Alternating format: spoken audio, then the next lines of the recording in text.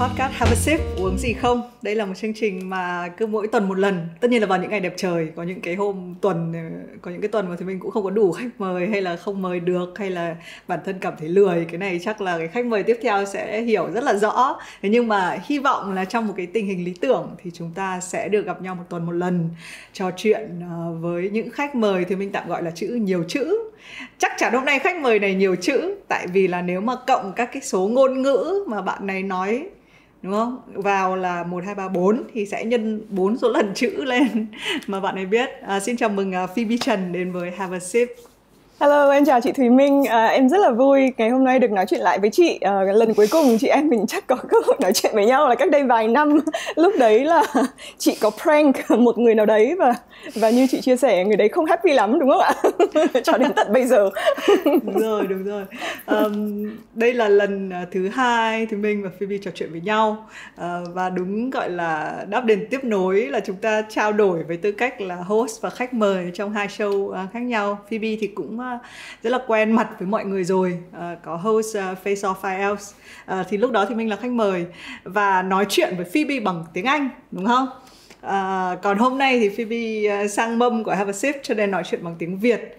Tuy nhiên thì mình biết một cái thông tin từ phía bạn sản xuất đấy là trước đó thì Phoebe có hỏi là hay là mình trò chuyện bằng tiếng Anh đi. Tại sao? vâng bởi vì em em thực ra là đây cũng là một trong những các cái phỏng vấn bằng tiếng Việt mà có lẽ là lần đầu tiên mà em làm dưới tư cách người trả lời. Và như chị Thùy Minh cũng biết rồi người trả lời phải nói nhiều hơn người dẫn. Cho nên là trả lời nhiều bằng tiếng Việt. Thì mong rằng là em có thể nói được hết tất cả những thứ ở trong đầu của em.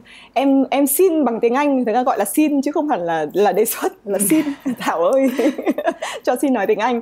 Um, thì thì thực ra cái đấy cũng là chỉ để để mình communicate nó rõ hơn và ừ. em cũng có nói với thảo hay là mình làm nửa việt nửa anh những lúc nào cần tiếng anh thì bộc ra tiếng anh mong rằng là sẽ khán giả sẽ sẽ không ừ. không bị um, cảm thấy khó chịu nhưng mà em nghĩ là sẽ không khó chịu đâu bởi vì là nội ừ. dung của mình chắc chắn sẽ sẽ rất là hay thôi mình cứ mình cứ hy vọng là như vậy um, thì cái cái điều này cũng khá hay đương nhiên là thì mình sẽ hỏi cái điều này trước liên quan đến việc là uh, Phoebe thì đã từng phát biểu rằng là với Phoebe thì nói tiếng Anh có cảm giác là dễ chia sẻ hơn đúng không? À, có thể là do cái khoảng thời gian bạn sinh sống ở nước ngoài hay là giao tiếp bằng tiếng Anh nhiều hơn hẳn.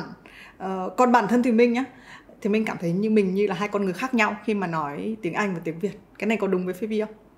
Ồ, cái mà chị chia sẻ rất là hay, chắc là có thể em cũng sẽ phải hỏi ngược lại chị cái cái đấy về chị con người của chị tiếng Việt như nào, con người tiếng Anh như nào. Nhưng đối với em có lẽ là nó giống nhau á chị tức là trong đầu à. của mình thì nó sẽ giống nhau hết. Nhưng mà cái khó khăn của em á cho cái việc nói tiếng Việt là mình mình có cái suy nghĩ đấy rồi. Tức là cái não của mình nó chạy nhanh hơn cái mồm. Không thực ra nói thì không được. Cái não của mình nó chạy hơn chạy nhanh hơn cái miệng. Ừ. đấy thế cho nên là mình cái cái cái cái cái words của mình nó đuổi không kịp. Vâng thì tiếng Anh uh, bởi vì em có những các cái từ đấy nó rất là nhanh rồi nó có thể bộc ra ngay. Thì em nghĩ đấy cũng là một trong những các cái cái cái trải nghiệm mà nhiều bạn học ngôn ngữ khác các bạn ấy gặp phải là bạn bạn có cái ý tưởng rồi nhưng mà bạn không nói ra được cái từ đấy ngay lúc đấy ừ. à, còn thì minh thì ví dụ như là quay về cái câu chuyện mà lần trước mình còn nói chuyện với nhau bằng tiếng anh á thì thì mình thú thật là không dám xem lại những cái video mà mọi người đã phỏng vấn mình nhất là một cái phiên bản mà mình không biết là nó sẽ bị đúng nghĩa là nó tọt ra như nào ấy tại vì là lúc đấy thì mình hoàn toàn là suy nghĩ bằng một cái uh, phiên bản tiếng Anh kia của mình mà cái phiên bản đấy ấy, thì về độ hiểu biết hay là về độ từng trải ấy, nó không bằng cái phiên bản tiếng Việt này ừ. đó thì uh, thành ra là thì mình sẽ hỏi ngược lại uh, Phoebe là cái câu này chắc chắn là Phoebe đã trả lời rất nhiều lần rồi chính vì thế nên thì mình sẽ hỏi ở mức độ hai cái level khác nhau ừ. uh, câu hỏi nhá là những cái rắc rối của bạn khi sử dụng tiếng Việt ừ. đúng không? Nhưng mình muốn uh, Phoebe trả lời luôn ở cả cái phương diện là về những cái um, cái level về giáo dục. Tại vì uh, quên mất không giới thiệu mọi người uh, là Phoebe còn là một uh, chuyên gia tư vấn về giáo dục là country manager của tổ chức uh, giáo dục Crimson ở Việt Nam. Nên là uh, khi mà gặp những cái rắc rối với tiếng Việt ấy, thì trong cái ngành về giáo dục của bạn ấy, đấy thì hai cái level này nó nó có va đụng nhau hay nó có kiểu như thăng cấp không? Dạ, chắc hẳn là có va đụng. Câu hỏi của chị nó cũng nó nó xoáy đúng vào cái cái cái gọi là tâm đen đấy, tâm đen của những các cái vừa là những các cái điểm điểm tốt à, để để mình làm tốt hơn grow và develop. Và vừa những các cái điểm nó cũng có thể là khá là uncomfortable. Em thì là sinh ra lớn, lên bằng tiếng việt nhưng mà tại vì sao em rất là sợ tiếng Việt? Bởi vì sao? Bởi vì cái tiếng Việt của em nó giống như tiếng Việt của một đứa trẻ mười mấy mấy tuổi ạ. Nói chuyện ở trong nhà đấy ừ. thì thì chị biết rồi nói chuyện trong nhà nhiều khi cái từ mình dùng nó không phải là những cái, cái từ nó quá là polite. Um, đấy ví dụ em nói cái mồm chẳng hạn thay vì cái miệng đúng không? Um, đấy hay là ví dụ như ấy như thế này nhưng mà ấy là cái gì trong văn viết? Thì tất cả những cái đấy nó nó cần có cái sự suy nghĩ của em đó thì thì em nghĩ là cho những các cái bạn khác mà mà giả sử như phải học một cái tiếng nước ngoài, thì thì các bạn ấy cũng, trong cái đầu của bạn ấy là nó nó là một cái natural response, là các bạn ấy là một cái người mà chưa chưa nói thành thạo cái tiếng đấy. Thế cho nên là lúc mà các bạn nói các bạn rất là sợ. Đấy thì thì em nghĩ là phải tập thôi. Em, từ lúc em về Việt Nam từ 2012 đến bây giờ và thực ra 2014 không không phải. Bắt đầu từ 2017 em thật sự bắt đầu là đưa vào một cái priority của mình là mình phải tập tiếng Việt. Vâng um, thì tập cũng có những nỗi đau chị ạ bởi vì nhất là trong ngành giáo dục mà.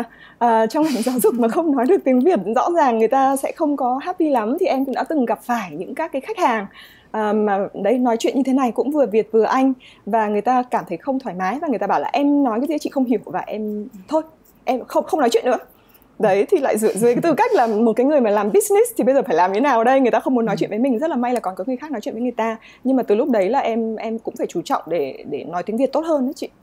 Ừ. Ờ, nó cũng kéo thêm một cái tranh cãi mà thực ra cái này thì mình cũng tranh cãi một lần. Thì mình cũng là một cái cái cái người đầu tiên khi mà thì mình mới từ ngoài bắc mà vào thành phố hồ chí minh và bắt đầu va chạm vào giới quảng cáo á. Thì mình thấy cái điều đấy xuất hiện trong giới quảng cáo trước nhá là mọi người cứ nói một câu tiếng việt câu thì câu tiếng Việt nhưng mà từ thì từ tiếng Anh đúng không? Vâng. Xong rồi cái thời điểm đó của thì mình cách đây nhiều năm 2006 á thì mình cảm thấy cái điều này nó rất là nó rất là không thuần khiết của tiếng Việt và mình ờ, và sau đấy thì nó nâng cái sự khó chịu của mình nó lên một cái bậc mới đấy là uh, giả sử có những cái từ nó rất là khó để diễn tả bằng tiếng Việt thì phải nói tiếng Anh không nói gì từ chuyên ngành đúng không? Nhưng mà có những rất là nhiều những cái từ mà có thể nói bằng tiếng Việt thế nhưng mình thì mình cảm giác có nhiều người chúng ta sẽ sẽ sẽ nói luôn bằng tiếng Anh luôn cho nó nhanh. Đấy. Thì cái sự thay đổi này nó đến năm nay là năm 15 năm uh, tiếp theo thì mình đang làm một cái môi trường của Vietcetera và cái chuyện mà code switching đổi các cái ngôn ngữ với nhau ấy, nó là chuyện thường ngay ở huyện và mình trở thành một cái một cái người như vậy. Tức là thì mình ờ, có cảm giác đấy chính là một chính là ngôn đấy là chính là tiếng Việt ấy. và um, nó tranh cãi ở đây là có rất là nhiều người cho rằng là tiếng Việt thì phải trong sáng tức là tiếng Việt là tiếng Việt tiếng Anh là tiếng Anh. Đấy.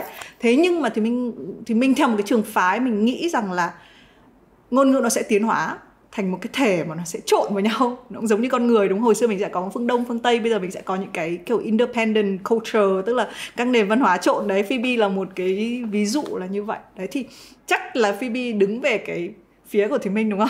Em chắc chắn là đứng về phía của chị nhưng mà em cũng rất là tò mò chị Minh ạ. À. Um, chị Thùy Minh bởi vì là ngày xưa thì em biết là chị cũng đã từng làm việc cho ví dụ VTV3 này cũng là một nơi mà tiếng Việt thì rất là chuẩn um, thì mới lên sóng được này. Đấy rồi là người miền Bắc thì thông thường là người ta cần cái tiếng Việt trong sáng nhiều hơn. Uh, đấy là cái văn hóa của người miền Bắc. Nhưng theo chị thì thì thì um, tại sao mà giới trẻ họ lại cởi mở hơn cái việc là trộn ngôn ngữ uh, so với cả những người lớn tuổi và tại sao người miền Nam họ lại cởi mở hơn với việc này so với người miền Bắc ạ? À? Ừ, ôi rồi tôi không biết là ai phỏng em hỏi bí kíp làm nào cho khách hàng của em là người ta cởi mở hơn cho cái việc là English Vietnamese lẫn lộn với ừ. nhau. Um, thôi cách thì mình tồn tại trong trong trong thế giới này thôi nhá chứ còn mình cũng không nghĩ là có thể rút được ra bí kíp thì mình nghĩ là uh, nếu mà mình nó giống như là một quan tòa ấy nếu mà mình đứng về hẳn một bên phía tại vì cái cuộc tranh cãi nó chưa ngã ngũ. Giả sử như đến một lúc nó có một cái kết luận rằng là từ bây giờ nhá ngôn ngữ được phép trộn với nhau đúng không? Thì thì lúc đấy không làm gì. Còn bây giờ nó vẫn là một cái cuộc tranh cãi nó vẫn là cái việc là uh, liệu có phải là giới trẻ hơi lười không có chịu thực sự đầu tư vào tiếng việt? Ờ, hay là giới trẻ gọi là văn hóa tây hóa bị du nhập. Đấy thì nó có nhiều cái sự tranh cãi nó có kể cả cái việc mà hội nhập văn hóa Phoebe cũng biết là nó có cả bốn cái luồng. Có những cái bạn trẻ uh, đến một cái nền văn hóa mới nhưng mà sẽ chối bỏ cái văn hóa cũ của mình. Nhưng ngược lại cũng có những bạn mà tôi chối bỏ cái văn hóa mới tôi chỉ muốn giữ cái cái heritage culture của tôi thôi thì nó có nhiều những cái sự lựa chọn khác nhau. Thì thì mình nghĩ luôn là như này này cái cách của thì mình luôn là um, mình cố gắng cho thấy là mình biết hai thay vì mình chỉ biết một. Đấy, thì ừ. uh, kể cả thì mình cũng bị nói nhiều tiếng Anh ở trong show hay là bây giờ á, các bạn bạn trẻ ở trong team Vietcetera cũng vậy. Thế nhưng mà quan trọng nhất là tiếng Việt thì mình cũng phải nó giống như cái việc là năm 2017 Phoebe quyết định là mình phải mình cũng phải ra ngô ra khoai tiếng Việt. Đấy nó là như vậy. Không ai có thể hoàn hảo đến biết tất cả mọi thứ tiếng. Cái này Phoebe cũng biết rất là rõ. Thế nhưng mà cái việc mình cố gắng nỗ lực trong một cái ngôn ngữ ấy mình nghĩ là nó có thể nó nó khiến cho người ta um, người ta người ta dễ chấp nhận hơn nếu mà mình thấy là mình tỏ ra cố gắng. Thì ví dụ như thì mình có thể nói tiếng Anh nhưng mà thì mình hay cố gắng là lúc ấy mình chưa nghĩ ra từ tiếng Việt ấy thì mình nghĩ nói tiếng Anh từ tiếng Anh trước sau đó mình thêm thêm cái từ tiếng Việt vào để cho nó cho nó vừa cả hai người nghe. Đấy. Ừ. còn làm thế nào để cho người nghe người ta tiếp nhận nhở thì cái câu đấy nó chuyện nó khó lắm nó giống như là bây giờ bố mẹ mình làm thế nào để bố mẹ mình uh, tôn sùng một cái kiểu văn hóa ví dụ thì mình cái này chắc là chia sẻ với những cái nỗi quan tâm của Phoebe thời gian này tại vì thì mình nghe lỏm mấy câu chuyện là à, uh, bao nhiêu tuổi uh, ba mấy tuổi mà uh, sẽ bị hỏi là, là là lấy chồng chưa chẳng hạn. Đấy thì đấy là một cái cách mà chúng ta phải uh, thì mình cũng phải va đụng rất là nhiều với bố mẹ. Thì mình cũng là một cái cái trường phái là không không lấy chồng mà là có con trước chẳng hạn. Đấy thì nói cho bố mẹ cái câu chuyện đấy là một cái việc nó giống như ngôn ngữ nó chỉ là một cái ví dụ đơn giản nhất. Có rất là nhiều thứ mà người trẻ ngày nay phải uh, sống với cả những người trẻ hơn mình và sống và vẫn sống trong cái những cái người lớn tuổi hơn mình đúng không? Thì hy vọng là đấy hay thỉnh thoảng hay bị đổi ngược như này này gặp phỏng vấn mấy cái người đồng nghiệp là sợ nhất là những cái tình huống như này. Mình đang là người cầm cương ấy cái một lúc sau mình lại trở thành người ở sau ngựa. Rồi bây giờ cho thì mình hỏi một câu tiếp theo. Dạ. đấy là trong những cái lúc mà uh, Phoebe vừa phải hơi xoay sở với việc tiếng Việt của mình và thì mình biết là bạn còn nói cả tiếng Nhật và tiếng Trung đúng không? Hai cái ngôn dạ, ngữ này của bạn uh, mức độ như nào? Mức độ uh, trôi chảy thế nào? Ngày xưa nó tốt chị ạ, bây giờ thì nó hơi bị uh, ở mức độ uh, trẻ em sơ sinh cho nên là ngày xưa thì em nói cũng cũng tốt phết đấy em cũng ừ. thi mấy cái cái bài thi JLPT các thứ cũng N2 vân vân á tức là cũng cũng level khá cao á nhưng mà ừ. bây giờ thì em cũng không nhớ lắm đấy ngôn, ngôn ngữ là phải tập Ờ, nhưng mà lúc bạn bạn đọc bắt đầu học á, thì bạn đơn giản là bạn thích cả hay là như thế nào? Thường thì cái cái việc mình tiếp cận một ngôn ngữ mới như nào? À, um, cái này em cũng thực ra nó là một câu chuyện khá hay đấy chị ạ. Um, đối với tiếng Trung thì ngày xưa có một thời gian là em ở bên Sinh đó ở bên Sinh thì thì có một ờ, bạn ờ, người yêu có một bạn người yêu thì ờ, thì bạn này không không giỏi tiếng Hoa lắm bởi vì cái thời đó là em vẫn còn là học sinh nhỏ còn đi học á đó thì thì bạn ấy không không giỏi tiếng hoa lắm và em thực ra em ờ, muốn ờ, thắng bạn này. Bởi vì thời đấy là yêu đương là phải nào phải giỏi hơn cho bạn kia thì mình mới sướng. Thế cho nên là em em mới học tiếng trung bởi vì bạn ấy không giỏi chứ không cần phải học giỏi lắm. Thì cũng thắng. Thì thì thì đấy là cái câu chuyện của tiếng trung nhưng mà ở, ở bên sinh thì người ta cũng dùng cái tiếng hoa khá là nhiều cho nên là em cũng cái có cái cơ hội sử dụng nó một chút xíu mặc dù không nhiều đấy còn sau này um, tiếng nhật là vì sao ạ bởi vì vào đại học thì bắt buộc phải học một thứ tiếng mà ừ. lúc đấy thì em đang nghĩ đến tiếng pháp bởi vì tiếng pháp nó you know, nó sexy nó cool nó european you know like it's light um, nhưng mà cuối cùng là tất cả các tiếng như tiếng pháp tiếng tiếng ý tiếng uh, uh, tây ban nha, ban nha. đều full ừ. hết và không chọn được một lớp nào và cái lớp duy ừ. nhất còn lại là tiếng tiếng nhật và em theo tiếng Nhật xuyên suốt có, có cái quá trình đại học từ cái việc là học tiếng Nhật hiện đại này cho đến tiếng Nhật cổ nữa em thậm chí em đọc cả những các cái bài bằng tiếng Nhật cổ ấy chị nhưng mà bây giờ thì thì em cũng hơi quên rồi khá quên ừ. bởi vì cũng hơn chục năm nay uh, không có không có sử dụng lại ừ. thế khi mà khi mà học qua các cái ngôn ngữ thì cái tại vì thì minh là một cái tuyếp tin rằng là ngôn ngữ là một kiểu trí tuệ. Tại vì là người ta có phân tích là ờ, tất nhiên là cái cũng lại một thứ chưa được chứng minh rằng là có 8 loại ngôn ngữ à 8 loại trí thông minh. Thì trong đấy có một loại trí thông minh là, đúng không? Có thể chất thì có có cả thông minh ngôn ngữ. Và thì minh hơi tin một cái điều đấy là có những người mà có khả năng học ngôn ngữ giỏi hơn hẳn người khác. Là họ họ, đấy, thì thì theo, thứ nhất là Phoebe nghĩ gì về cái đấy? Là có thể là có những cái người có khả năng học ngôn ngữ tốt hơn hẳn hay không? Và thứ hai nữa là cái điều quan trọng nhất trong cái việc khi mà tiếp cận một cái ngôn ngữ mới là gì? Ừ. em nghĩ nó đúng chị. À, thực ra mỗi người có một cái tài năng ví dụ bản thân em em thấy là ví dụ em học ngôn ngữ mới nó cũng khá là dễ dàng. So với cả một số cái người mà em biết ngay cả trong gia đình thôi cùng gen đấy cùng trong cái gọi là tập, tập hợp gen với nhau mà có người gọi là cày cày cày mãi mà vẫn cảm thấy nó struggle. Thì thì thì em nghĩ là cái cái điều đấy nó có thật. Uh, nhưng mà để tiếp cận tiếp cận học một cái ngôn ngữ mới thì thực ra em nghĩ cái yếu tố quan trọng nó cũng như tiếp cận học những các cái thứ mới khác ấy nó là discipline tính uh, kỷ luật. Ví dụ về hội họa nó cũng yêu cầu tính kỷ luật để có thể làm nó tốt và để có thể làm nó trở thành một cái career là cái cuộc sống ừ. công việc của mình. Đó, chứ nó không chỉ đơn thuần là inspiration hay là khả năng bẩm sinh. Đấy thì cái cái tính kỷ luật này em nghĩ trong cái việc học ngôn ngữ nó cần uh, có ba cái yếu tố. Cái yếu tố thứ nhất đó là cái việc uh, mình uh, phải phải tập uh, nói chuyện này viết này đọc này là ba cái yếu tố mà quan trọng thì thì bắt buộc là mình phải tập với cả một người khác và và bắt buộc phải tập với cả internet vân vân. Đấy và và và nếu như ai đó mà mệt ấy, em nghĩ là cái yếu tố mệt thực ra không phải là bởi vì cái ngôn ngữ này nó chán đâu mà bởi vì họ đang không có một cái cách thức nào đấy để để họ có thể ừ, sử dụng nó và họ mệt bởi vì là họ không cảm thấy là họ successful tức là họ hoặc là có progress thì đấy là lý do họ mệt. Chứ thực chất học ngôn ngữ bởi vì tất cả con người mình đều mình đều học ngôn ngữ mà à, thì chắc chắc hẳn là về mặt gen thì chúng ta đều có thể làm được cái công việc này. Ừ. tính kỷ luật điều quan trọng nhất. Thì mình nghĩ là đây cũng là có thể là lời ẩn dụ cho rất là nhiều các cái gì mà chúng ta muốn học mới đúng không? Nhiều khi uh, mọi người hay thì mình cũng hay so sánh cái việc học một cái từ mới hay là học ngôn ngữ mới nó giống như mình chỉ có mối gieo một cái mầm thôi tức là mình nghĩ là ôi mình thích cái này mình làm cái này. Thì nó chỉ là cái mầm còn cái mầm nó còn nở không rồi giữa chừng nó ngoi lên nó còn bao nhiêu con sâu béo nó có thể lao vào nó ăn mất cái mầm cây đấy lúc nào không biết. Um, thành ra cái quá trình như là luyện tập hay là cái tính kỷ luật như Phoebe nói thì mình nghĩ, nghĩ đúng là quan trọng. Thế nhưng mà bây giờ mình cũng thấy là để học ngôn ngữ thì dễ hơn hồi xưa rất là nhiều. Uh, thế thì phi hồi xưa phoebe học là bởi vì bạn sống đúng không? Và có những anh người yêu này hay là uh, sống trong một cái môi trường thường thì cái hồi đó thì ngoài cái việc học trong trường á thì cái việc học ngôn ngữ nó sẽ đến từ những cái gì ngoài việc học trong trường thì nó sẽ đến về em em nghĩ là nó sẽ đến về cái việc là mình mình phải tìm những các cái đối tượng khác để mình nói chuyện cùng ừ. và mình xem đấy cái thời mà em học tiếng Nhật là em xem phim rất nhiều ừ, ừ. ừ. có thể gọi là cày phim á chị một ngày em có thể xem mười mười mấy tiếng và trong ừ. đến lúc đấy còn đang đi học nhá cho nên sáng nào dậy gọi là mắt nó cũng đen xì này bởi vì mình ngồi mình cày phim. Nhưng mà sau đấy thì mỗi mỗi lần cày xong một một series phim ấy thì các thầy cô bảo wow! Nhưng mà ôi tại sao mày lại giỏi thế này? Và mình sẽ biết được những các cái gọi là expression mà nó, ừ. mà chỉ những người nói ngôn ngữ đấy người ta nói thôi chứ nó không sẽ nằm trong sách vở đấy. Thì thì đấy ừ. là cái trải nghiệm của em. Ngày xưa thực chất trước khi mà biết nói tiếng anh á em cũng có một cái thời gian học ở Việt Nam em học mẫu giáo này à, thời gian mẫu giáo năm cuối và năm lớp 1 ở Việt Nam. Thì lúc đấy uh, chương trình của Bộ Giáo dục Đào tạo đã dạy tiếng Anh rồi. Và em nhớ là cái thời đấy em là một người rất struggle luôn bởi vì em bao giờ cũng cảm thấy là mình không có biết cái gì hết. Và và thực ra tại lúc đấy mình cũng không có một cái cách thức để để ai đó dạy mình là cái structure của mình mình nên học như thế nào. Đấy thì thì sau đó gia đình em đi qua nước ngoài đi qua Canada.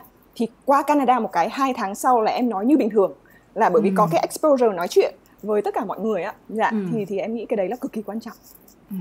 Thì mình cũng phải chia sẻ vui. Đấy là thì mình hồi xưa học tiếng Anh siêu dốt và thì mình ngược lại một chút tức là uh, như Phoebe là rất là chủ động trong việc ví dụ như mình học ngôn ngữ cho nên mình sẽ xem phim. Còn thì mình là bị là mê phim xem phim. Thì hồi đấy xem uh, nhớ hoài luôn xem cái Sex and the City ấy uh, mấy, uh, wow, cái season đấy chị, yes. chị vào xem cái đấy mà bố mẹ chị, chị xem mà chị phải che xem. mắt như này này tức là kiểu chị kiểu thế nhưng mà lần đầu tiên được uh, đến New York á mà mình đến New York vì Sex and City vì người ta miêu tả cái mùa thu ở New York nó hay quá thế là lúc mà thì mình đi vào cái chỗ cửa hải quan ấy câu chuyện này mình hay chia sẻ thì cái, có một cái cô bình thường thì sẽ có một số các cái anh hải quan hôm đấy là có một cô hải quan thì cô ấy hỏi là tại vì đi những năm cách đây kiểu nhiều năm ấy thì mọi người hay cũng hay có một cái cái cái cái quan điểm là người châu Á nói tiếng Anh không giỏi á đó. Thì cô ấy hỏi mấy cái thì mình trả lời trả lời. Thì có thể là mình xem nhiều phim thì đấy như là cái cái exposure mà mà Phoebe vừa nhắc đến là mình trông có vẻ như là biết tiếng Anh ấy, đấy thì cô ấy bảo là ơ tiếng Anh cũng cũng kiểu như học tiếng Anh ở đâu đấy ở trường à? Thì chị mới bảo là không học từ Sex and the City. Rồi thế là cô ấy cười phá lên.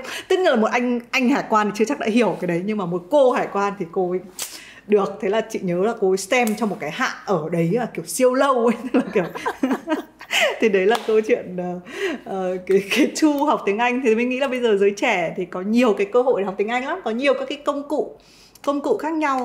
Bây giờ mình sẽ thấy có rất là nhiều những cái app tiếng Anh nổi tiếng đúng không? Và cái mình có thể tập luyện của mỗi ngày chẳng hạn. Đấy thì um, nhưng mà khi mà có nhiều các cái tool như vậy uh, thì thì phi nghĩ là người ta nên chọn một cái như thế nào để thích hợp cho bản thân mình? Khi mà ừ. rõ ràng là cái việc mà chúng ta có thể gặp những người nước ngoài hay chúng ta xem phim nó nó kiểu nó dễ dàng hơn hồi xưa nhiều em nghĩ là cái cái phương tiện nào để cho mọi người có thể thật sự là ví dụ như mọi người có thể ở Bắc Giang, Tiền Giang hay là ở Sapa hay Móng Cái, những tất cả những nơi mà có thể là không phải là quá easy to travel bởi vì cũng không có airport ở đấy chẳng hạn mà người ta ừ. vẫn có thể gặp mặt và nói chuyện với cả một ai đấy. À, thì em nghĩ đấy là một cái điều rất là tuyệt vời. Tất nhiên là chính phủ cũng đã bắt đầu cử một số những các cái giáo viên nước ngoài để người ta đi ra những các cái khu vực đấy và để người ta tiếp cận với cả các bạn và các em nhỏ. Tuy nhiên à, với cái internet thì em nghĩ rằng là có cực kỳ nhiều cơ hội và ừ. và cái này nó thể hiện cực kỳ rõ qua covid. Và những ai mà chưa tận dụng cơ hội này em thấy là cực kỳ phí. Cho nên là covid có internet có điện thoại có laptop thì có thể tìm được những cái cơ hội để nói chuyện với cả ai đó live hoặc là hoặc là tự test cho cái khả năng nói chuyện của mình Ừ.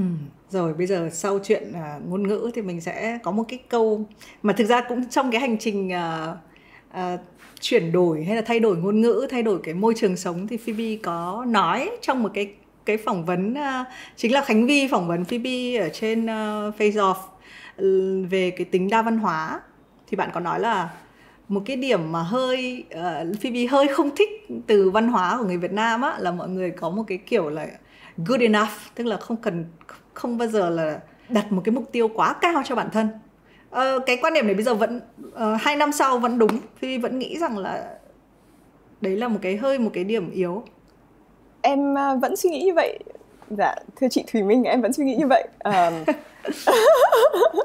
và và em nghĩ rằng uh, có thể là có những người người ta đồng đồng ý nhưng mà cũng có thể có những người người ta không đồng ý lắm. Bởi vì ví dụ như sẽ có những các cái câu hỏi ví dụ như là uh, tôi là phụ nữ và tôi chỉ muốn trở thành một người mẹ rất là tốt thôi và tôi không cần phải đi làm.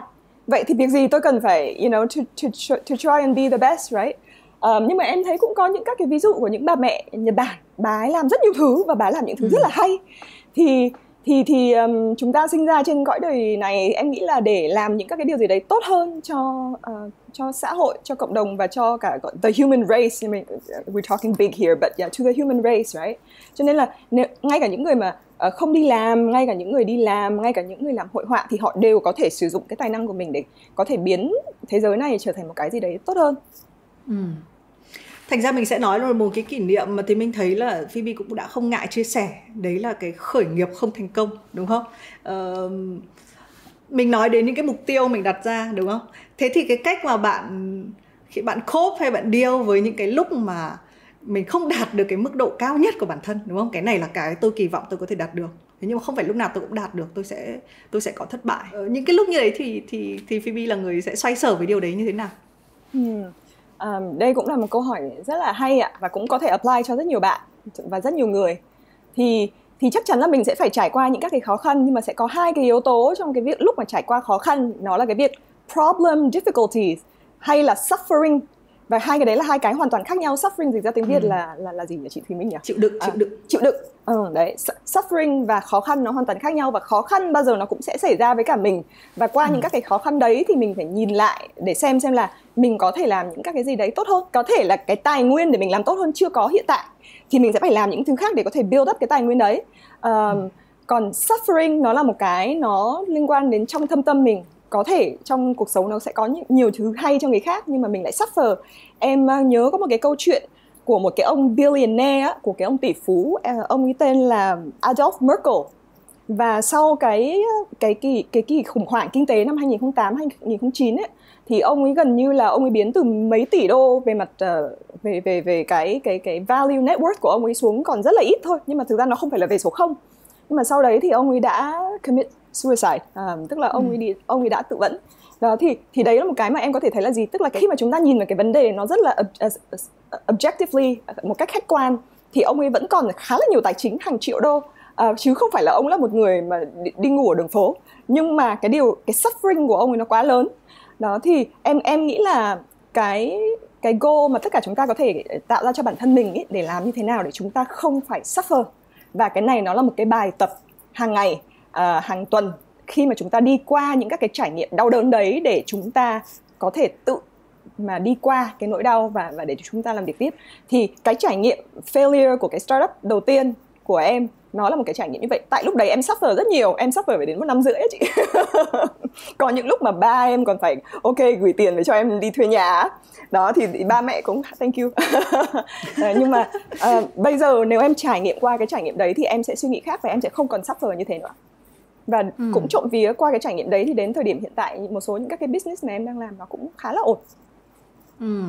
dạ. cái đấy hay um, thực ra lúc đấy thì mình hỏi uh, phi phi hỏi nhanh suffering thì, tiếng tiếng uh, động từ thì nó là sự chịu đựng đúng không nhưng mà uh, tiếng uh, danh từ thì nó sẽ là một cái sự kiểu một cái sự đau khổ một cái sự uh, như nào nhỉ? đúng thì mình thấy đớn. cái này hay ừ hai cái này nó hay ghê luôn tức là là rõ ràng là có những cái khó khăn và trong thực ra trong khởi nghiệp hay làm cái gì mới nó sẽ có những cái khó khăn. Thế nhưng mà mình uh, mình mình mình mang những cái khó khăn đấy nó vào trong đầu và trong người mình như thế nào thì là cái mình có thể quyết định đúng không? Uh, thế thì Phoebe có cái cách nào để phân biệt được là lúc nào thì cái đấy là khó khăn chung in general? Hay là có những lúc nào thì nó là à cái này là mình tự mình làm khổ mình thôi? Mm, wow, million dollar question câu hỏi của chị quá hay luôn. Và chị cũng đang muốn không chị luôn hỏi vì chị tò mò chị kiểu kiểu phải xem là cô này làm gì để tôi còn học. Vâng thực ra đây cũng là câu câu hỏi mà em em nghĩ về nó khá là nhiều. Uh, để để làm nào để mình có thể systemize có một cái cấu trúc để mình có thể định nghĩa ra và và hoàn toàn ai cũng có thể định nghĩa được um, có thể là em chưa tìm ra cái câu trả lời nó quá tốt nhưng mà cái bước đầu tiên thì em suy nghĩ là như thế này. Chắc chắn là cái khó khăn đầu tiên á, à, mọi người sẽ chưa chắc đã phân biệt được là suffering và và problem. Um, ít nhất mọi người phải trải qua một cái cái đầu tiên đấy. Nếu như mọi người trải qua lúc mọi người còn trẻ ví dụ mấy mấy tuổi hai mấy tuổi thì nó cũng đơn giản nó dễ còn năm mấy tuổi nó khó nữa. Đấy nhưng mà uh, chắc chắn trải nghiệm đầu tiên thì chắc chắn sẽ hơi khó. Nhưng mà bắt đầu từ trải nghiệm thứ hai thì thì có một số ừ. những các cái câu hỏi mà em nghĩ đối với cá nhân em nó nó nó đã từng giúp em. À, cái câu hỏi đầu tiên nó là việc hiện tại bây giờ cái tâm lý của mình nó có đang nó có đang tốt hay không?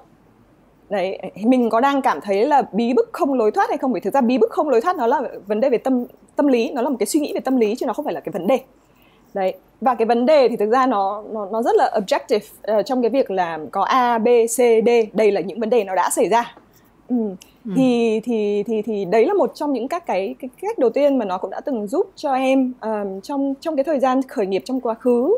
Um, thì thì em cũng cảm thấy là nó rất là difficult không biết là mình tìm ra lối thoát như thế nào. Nhưng mà em biết rằng cái vấn đề ở đây là gì? Ok little finances mình không có tài chính. Và cái đấy nó sẽ gây ra rất nhiều khó khăn cho cuộc sống của mình tại thời điểm đấy. Um, cái vấn đề ở đây là gì? Ok cái business của mình nó đang không work và mình cũng chưa có một cái giải pháp gì cho nó và mình nói chuyện với cả A, B, người A, người B, người C nhưng mà những cái câu chuyện này nó cũng chưa cho mình được một cái solution. Đấy. Thì đấy là những vấn đề. Và cái vấn đề thứ ba, mình có nên tiếp tục hay không hay mình dừng? Đấy là ba cái vấn đề nó gọi là rất là objective. Nhưng mà cái cái cảm xúc là gì? Ôi tôi chết rồi, tôi không có tài chính, bây giờ tôi sống ra sao, ừ. tháng sau tôi làm gì? thì đấy là một cái emotion. Cái cái emotion đấy thì mình phải nhận biết rất là rõ là lúc nào mình cảm thấy như thế để mình có thể nhận biết được nó và và chịu khó rằng là không không suy nghĩ như vậy. Vâng có ừ. thể là thở này rồi là đi ra um, với cây cối này đối với em như thế nó sẽ giúp ích cho em rất nhiều và em thông thường thì sẽ không muốn đưa ra một cái decision khi mà mình cái tâm lý của mình nó không ổn định ừ. dạ. dạ. chị thì chị nghĩ sao ạ chị thì mình ừ, cái đấy thì mình cũng thực hành thì mình thì uh, cũng thích gọi là cấu trúc hóa những cái thứ vấn đề tức là mình hay mình hay gọi là học cách phân thân thì mình ghét nhất là vấn đề đấy chính là mình. Ừ. nên mình hay cố gắng là nếu được là bóc tách cái vấn đề đấy ra để nó riêng một chỗ ngắm nghía nhìn nó với tư cách là một nhà khoa học. Để ừ. mà mình không bị là gắn nó vào mình ấy. Đó với có một cái điều thì mình cũng đang thực hành thôi. Và thì mình gọi nó là kiểu gọi là 20 24 giờ đúng không? Là mình tại vì thì mình thấy có những cái vấn đề á là 24 giờ sau nó vẫn là vấn đề. Kiểu nó vẫn thực sự nó rất là to. Nhưng có rất nhiều vấn đề sau 24 tiếng sau ấy, nó không phải vấn đề nữa. Nó chỉ là câu chuyện cảm xúc nó chỉ là những câu chuyện vẩn vơ người này người kia nói xấu mình một câu hay là mình đọc được một cái comment hay cái gì đấy. Thì thì đại thì thời gian nó là cái triệt tiêu đi những thứ mà mình mình không không cần đến. Còn nếu mà 24 giờ trôi qua mà đấy vẫn là một vấn đề và nó vẫn còn ở trong đầu mình á thì là thôi lúc đấy phải phải sắn tay rồi đúng không? Đấy thì mình bớt cái năng lượng của mình vào những cái thứ nó nó hơi vẩn vơ đi thì nó mình dồn cái năng lượng Ừ. Nhưng mà chị Thùy Minh sẽ handle như nào nếu như những người thương yêu của chị, your loved ones, là những cái người mà không tách bóc tách được bản thân mình. Em lấy ví dụ có một cái ví dụ thôi. À, thỉnh thoảng em hay đi chơi với cả ba mẹ em.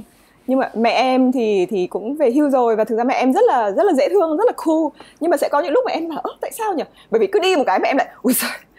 Ôi, ôi chán quá. Ôi xong rồi em em bảo chứ mẹ cảnh đẹp thế này sao mẹ cứ úi rồi ví dụ như vậy thì đấy là một cái emotion có thể là mẹ em cảm thấy là um, impatient về một cái gì đấy. Um, thì thì những cái lúc mà người khác trải qua vấn đề đấy mà chị không đồng ý lắm với cái emotion người ta đang gặp phải thì chị sẽ làm gì? Ừ. Ờ, thực ra đấy là câu chuyện chung của các bà mẹ không phải mỗi câu chuyện của những bà mẹ. Dù họ có khu đến mấy họ luôn có những thứ mà ờ, thì thực ra mình hay ngược lại là chắc chắn mình cũng làm những cái việc gì mà họ cũng rất là ngứa mắt phải không? Đúng không? Tức là cái này là câu chuyện thế hệ. Đấy và thì mình thì mình chỉ chỉ rút kinh nghiệm từ mẹ của mình. Mẹ thì mình là người mà uh, cứ đi ăn nhà hàng thì là chê đắt. Tức là tức là cơm ở nhà là ngon nhất mặc dù là sau đấy thì nó cũng mất nhiều năm và nó cũng đòi hỏi một cái việc là cái này thì chắc là Phoebe cũng hiểu là khi mình lớn một chút á, mình có cái nhu cầu ở gần bố mẹ mình rất là nhiều rất là khác với lúc mình trẻ. Lúc mình trẻ mình muốn chạy càng xa càng tốt. Thế nhưng mà lúc uh, mình lớn hơn một chút thì mình mình sẽ trân trọng cái việc là ở gần gia đình. Đấy thì khi thì mình ở gần á, mà thì mình cũng mất đến ba mấy năm để học một cái điều là mẹ mình nói thế nhưng không phải thế. Tức là tức là các bà có một cái form thể hiện á, nó là như vậy ở cái này không có cái gì cả. Ôi rồi thế này. Chứ chứ các bà có vẻ như về thì mình không biết là mẹ Phoebe như nào, nhưng mẹ thì mình là học được một cái một cái lá chắn là tôi không nên show cái cảm xúc thật của tôi và tôi không nên quá hào hứng, bởi vì tôi không biết là cuộc đời ngày hôm sau sẽ đối xử với tôi như thế nào và tôi không bao giờ nên spend tiền để mà cho chỉ những cái hoạt động như là ăn uống, chơi bời. Đấy thì có những cái mà nó, cái thế hệ trước của mình về con, unconsciously là họ họ prepare cho những cái worst uh, scenario những cái đấy. Thế là thì mình sau đấy thì mình hiểu là à, khi mẹ mẹ mình nói thế nhưng không phải nghĩa là như thế. Và mình phớt lờ tức là mình gạt hết. Tức là mẹ thì mình là ui đừng đi ở khách sạn khách sạn này có đến mấy trăm nghìn không? Các thứ cái đấy. Thì thì là những câu chuyện xích sen là sẽ không giờ đi đúng không? Thì, thì ví dụ thế thì mình sẽ bảo là thì mình gạt hết đi coi như là bất chấp. Bởi vì mình thấy là à ok. Thì cái này cũng chính là uh, Phoebe hay nói này. Đấy là dù sao chúng ta cũng là con người đúng không? Tại vì con người sẽ luôn có những cái cảm xúc cơ bản đấy. Đứng trước cái đẹp thì sẽ là đẹp và người ta vẫn cảm nhận được cái đẹp đấy chỉ có điều là có thể cái cách thể hiện người ta mỗi người kiểu thể hiện một cái khác nhau ấy. Nhưng mà thành ra nó cũng kéo theo một cái việc thì mình thấy rất là quan trọng tại vì là rất là nhiều người nhận xét bạn uh, là có một cái năng lượng tích cực đúng không? Uh, thì mình cũng xin được chia sẻ cái điều này bởi vì mình cũng là một cái người rất là bản chất mình là người tích cực. Và phần lớn là mình sẽ có một cái như thế nào nhỉ? Uh, rất là có nhiều người xung quanh mình họ sẽ hơi tiêu cực bởi vì họ thấy cái năng lượng nó chênh ấy và họ cũng bị cái sức hút vào. Này ví dụ như phi vừa nói về ví dụ kể cả cạnh mẹ rồi mình cũng sẽ thấy những cái năng lượng này nó hơi khác nhau. Uh, thế thì mình hỏi lại hỏi lại bạn là bạn làm thế nào? Cái cách mà mình luôn tích cực là gì? Ừ. dạ um, em câu hỏi của chị làm em phải phải nghĩ vài giây um, thực ra em nghĩ là tích cực nó là một cái practice nó là một cái sự rèn luyện và và nó cũng cần một cái sự um, discipline uh, tức là kỷ luật để mình có thể đạt được nó. Tất nhiên là có những người thì người ta cũng sẽ question ví dụ như là thảo tâm cũng ở trong show ifo á, bạn ấy question trong cái việc là tại sao chúng ta lại cứ phải cần tích cực? Chúng ta hãy cho chúng ta khoảng không để chúng ta không cần tích cực đi. À, đấy thì tất nhiên là cũng có một vài người người ta nghĩ như thế nhưng mà đối với bản thân em thì thực ra cái năng lượng tích cực đó là một cái điều rất là tốt cho cuộc sống của em nó giúp cho em làm việc tốt hơn nó giúp cho em yêu thương người khác hơn. Đấy và nó giúp cho em khỏe mạnh hơn. Em cảm thấy rất là healthy. Trong thời kỳ covid ừ. giãn cách này em ở nhà suốt ngày mà em rất happy chị ạ. Em happy lắm. Rồi mỗi, mỗi lần đi ra ban công phơi nắng một cái như con mèo thì mình cũng cảm thấy à cuộc đời của mình thật là vui tươi. Thì thì à, cái đấy nó là cái mà nó work well cho cuộc sống của em. Cho nên là đối với em em nghĩ là nên tích cực đấy thì để tích cực như thế nào? Cái bước đầu tiên chắc là với mỗi cái sự tiêu cực đấy thì thì có lẽ là mình mình biết được cái sự tiêu cực nó là cái gì và sau đấy mình cố gắng mình biến nó trở thành một cái tích cực. Em lấy ví dụ như là mẹ em đi. À, mẹ em hay kêu à, đi chơi hay kêu đúng không ạ? À, mặc dù mẹ em rất dễ thương à, em rất là yêu quý và yêu yêu thương mẹ em. Đó, nhưng mà mẹ em có hay kêu rồi ôi chán thế mệt thế. Thế cho nên là lúc đầu thì em cũng hơi khó chịu một chút và em bảo tại sao mẹ cứ giờ ấy nhưng mà sau đấy thì em làm nào để biến nó thành tích cực? Em cho cái từ thực ra cũng combine tiếng anh đấy chị kết hợp tiếng anh. Em cho từ ism vào đấy mỗi lần mẹ em kêu đấy xong rồi em, em sẽ hỏi mẹ em là mẹ ơi mẹ lại úi giờ ism à? Cả hai mẹ con đều cười. Rồi thỉnh thoảng ấy, như nó, ngày hôm nay đi chơi nhờ có úi giờ ism hay không? Đấy thì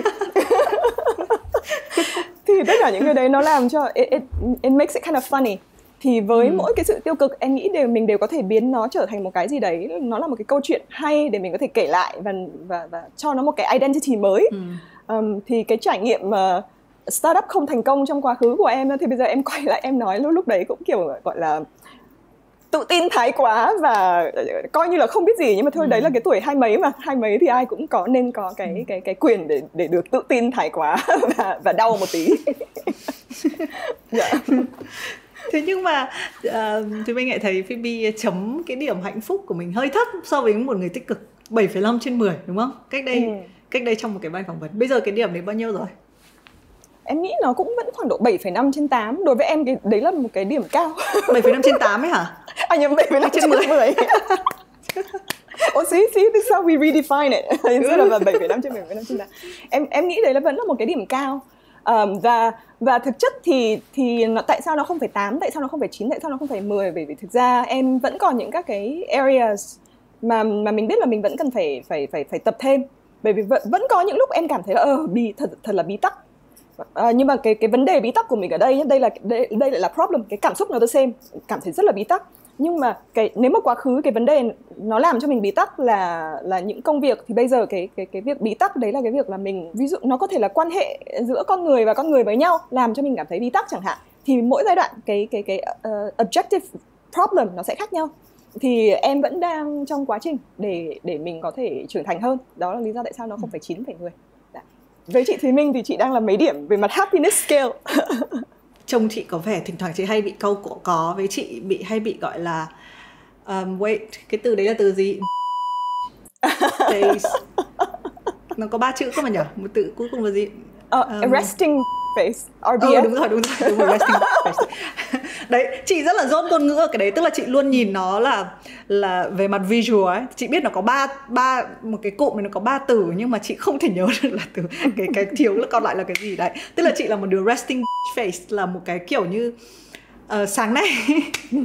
Câu chuyện này ngày nào nó cũng diễn ra nhưng mà sáng nay thì chị đọc một cái tin nhắn hay có một uh, uh, buổi sáng. Thực ra cái này Phoebe cũng phải chắc là cũng sẽ cảm nhận được khi mà mình nhận được một cái lời động viên từ cái khán giả của mình ấy đúng không? Cái nghề ngoài cái việc là bạn là chuyên viên về tư vấn giáo dục khi mình làm truyền hình hay là khi mình làm những cái show á thì buổi sáng mà lúc sáng tinh mơ trời đang uh, mình còn nhiều năng lượng này rồi mình uống một cốc cà phê ngon này rồi mình mở ra cái Instagram mà mình thấy có một cái tin là nói rằng là em rất là vui vì chị đã làm những cái podcast đầy cái tính tích cực như vậy á, là mình rất là, mình rất là sung sướng ấy, tức là nó nó một cái ngày của mình cảm giác nó sẽ tươi đẹp hẳn lên. Thế nhưng mà mình quay sang để anh chồng một chút chuyện gì đã xảy ra với em đấy? Tại vì bảo là, ơ không em vừa nhận được một tin kiểu rất là vui. Thế là anh ấy bảo nhưng mà mặt em kiểu như kiểu là ờ, hôm nay số ca người chết tại vì covid đã kiểu tăng vọt hay cái gì đấy. Tức là mặt chị bị kiểu như là rất là cau có ấy, và chị hay bị bệnh là ví dụ chị sẽ chị để hay tiết kiệm thời gian. Ví dụ khi ai đấy hỏi chị về cái việc đấy thì chị chị thấy những cái phần đẹp á chị lại hay ít nói đến cái phần tốt ấy. Chị hay nói thẳng vào cái yếu điểm để chị nghĩ là thôi như thế tiết kiệm thời gian hơn cho mọi người thành ra là chị hay bị nghĩ là coi có nhưng về bản chất chị là người rất happy. Tức là chị kiểu nên điểm điểm của chị rất cao. Tức chị sẽ luôn kiểu 9 trên, 10 tức là một kiểu ờ, đấy thì thì thì gọi là nhiều khi trông vậy nó không phải vậy ấy là đấy chị chị là người thực ra là rất là đơn giản rất là happy rất là tích cực. Chỉ có tội là bù lại thì mặt lại bị cau có khó chịu này. Thì cái um, uh, đấy làm cho em hỏi chị bây giờ chị quên xứ mất câu hỏi tiếp theo chị. Chị là gì? Mình Đấy, mọi người ạ thì mình sợ nhất là phỏng vấn à, đồng nghiệp mà sau đấy quay lại hỏi á vì là đúng không? Có phải có một cái mạch mình đang suy nghĩ như này người này vừa nói câu này tí nữa mình sẽ hỏi tiếp theo câu gì? Xong rồi người ta hỏi lại mình một cái là mình bị quên mất bây giờ đợi tí. Phoebe cũng là người phỏng vấn rất là nhiều uh, khách mời ấy đúng không? Và có một cái chủ đề gì mà Phoebe sợ nhất không bao giờ động tới không? Thực ra cái đấy nó không liên nó liên quan nhiều hơn đến sếp và các chương trình nhiều hơn là đến khách mời um, ừ. nhưng em nghĩ là có những các cái chủ đề liên quan đến nếu như có thể làm cho người ta upset tức là làm cho người ta không vui thì em cũng hơi sợ ừ. em thực ra không phải hơi sợ khá sợ um, em đã từng có một trải nghiệm phỏng vấn một trong những cái ông veteran uh, journalist của Mỹ và ông ấy cũng là một cái người mà cũng có tên được mention trong rất nhiều phim ấy bởi vì ngày xưa thì ông ấy ở ông ấy cover cái chiến tranh Việt Nam và sau đấy thì ông ấy cũng rất nổi tiếng thì ờ, thì trong cái ờ, cái buổi interview đấy ông ấy bảo là mày chỉ được interview tao trong vòng 45 phút. Đấy thì trong người lúc đấy thì các sếp ở bên tai em hỏi thêm hỏi thêm này đi hỏi thêm này đi. Đấy thì em vẫn tiếp tục em hỏi. Và sau 45 phút rồi cuối cùng ông ấy nhìn vào Phoebe you gotta stop the interview now or you're not going to do or you're not going to be able to to to to broadcast this. And then Ôi, chịu khó chịu khó em ơi chịu khó hỏi thêm câu này. Xong rồi vẫn tiếp tục hỏi nghe sếp và chị nghe sếp vẫn tiếp tục hỏi. Xong rồi ông ấy nhìn vào mặt em ông ấy chỉ thẳng mặt em như này Phoebe do you not understand? Kiểu cô không hiểu cái mà tôi nói à? Cô chẳng hiểu hay sao? Stop it right now. Xong em kiểu chết rồi. Đấy thì lúc đấy mà em em cũng vẫn còn rất là trẻ tuổi trong trong nghề. Thì um, bây giờ em nhìn lại thì thực ra em nghiệm ra một điều là gì? Thực ra cái cái cái người ngồi đối diện mình quan trọng nhất vì người ta người ta thoải mái người ta người ta phải open uh, thì thì ừ. mình mới đạt được cái mục tiêu. Đấy cho nên là nếu như em quay lại cái đấy um, đến bây giờ em vẫn còn hơi sợ để để hỏi những câu sai hay để để, để đi quá cái cái mà người ta đã cho. Đó, thì thì thì đấy là một cái số một số những các cái trải nghiệm ừ, của em. Và em rất sợ hỏi ừ. câu gì đấy mà xong người ta cảm giác như người ta buồn ngủ ấy người ta ừ, ừ, ừ có ừ, không đó thì thì đấy là một số cái nỗi sợ của em. Còn chị Thùy Minh thì sao ạ? Chị có sợ? Chị có sợ không? Em cảm giác như chị chả sợ bao giờ ấy khi mà phỏng vấn cái câu chuyện này ờ, cái câu chuyện này là cái câu chuyện mà chị cũng đã nói đùa là người ngoài thì luôn tưởng là cái người phỏng vấn không sợ.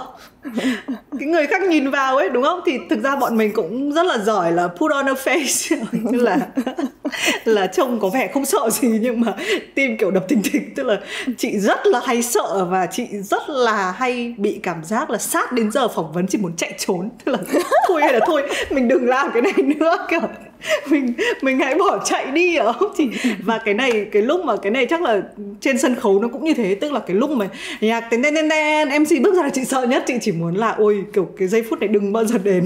Thì thì cái này là, là bao nhiêu năm trôi qua. Nhưng mà cái kinh nghiệm mà cái sự thoải mái và dễ chịu của người đối diện ấy là cái gọi là kim chỉ nam cái thứ quan trọng nhất mà chúng ta nên dành có được. Chị vẫn nhớ hoài là chị phỏng vấn ờ, bạn uh, ca sĩ ờ, Demi Lovato ấy.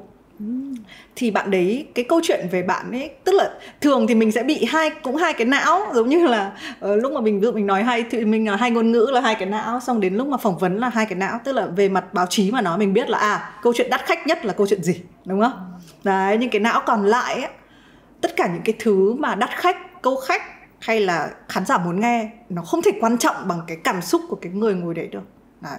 thì mình nhớ hoài là lúc đấy mình chuẩn bị rất là nhiều những câu hỏi liên quan đến việc là uh, tại vì bạn ấy phải vào rehab này bạn ấy cai nghiện này uh, và ai mà chẳng muốn hỏi một cái cái người nào đấy là vừa cái trải nghiệm bạn ở trong trại cai nghiện như thế nào và bước ra như thế nào đúng không nhưng mà khi mình nhìn thấy khuôn mặt của người ta thì mình sẽ tự đặt bản thân mình là ai vừa bước qua một cái quãng thời gian đen tối mà lại lại phải kể về nó lại phải đối chất với truyền thông về cái đấy thì cái đấy là cái đáng sợ nhất. Đấy, đấy thực ra là lúc đấy chị nhớ là chị chuyển hướng ngay chị hỏi là có kiểu are you happy? Tức là có happy now không? Cái đấy nó kiểu chị thấy nó quan trọng hơn rất là nhiều những cái việc là trong quá khứ thì có chuyện gì. Đấy thì thì quay về cái mẫu phỏng vấn đấy thì nó cũng không có một cái nội dung gì mà nó gọi là có thể là người ta giật tít người ta gọi như vậy á thế nhưng mà là một thứ mình cũng cảm thấy là mình rất là dễ chịu. Mình vượt qua được cái có những thứ giọng nói bên tai của mình nhưng mà là chính là mình nói vào tai mình á. Là nói tiếp đi hỏi tiếp đi ấy. Nhưng mà với những thứ là thành ra là yeah, làm cái nghề của mình nó cũng hay ở chỗ đó là mỗi lần được trò chuyện ấy.